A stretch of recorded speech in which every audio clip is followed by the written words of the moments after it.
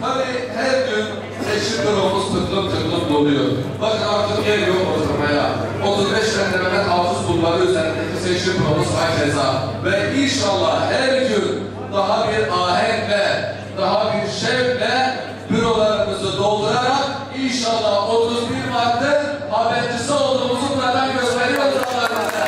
Mehmet Başkan ayarlı, Mehmet Başkan ayarlı verilmiş. Bir sorun yok. Bu başarı birlik beraberliğin başarısı. Bu başarı samimi olmanın başarısı. Bu başarı yürekle çalışmanın başarısı. Bu başarı bize verdiğiniz gücün en iyi şekilde yerine getirmenin başarısı. O kadar söylüyorum. Şanlıurfa'yı Şanlıurfa yapan Recep Tayyip Erdoğan ve AK kadrolardır. Dün ne yaptınız Şanlıurfa'ya? Bugün ne yapacaksınız? Hangi kara köprünün telefonuna baktın?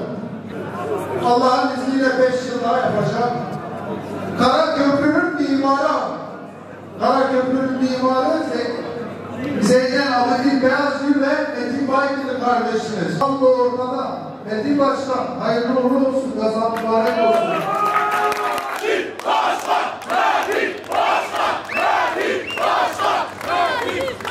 Eyvah! Çiftçiler seninle!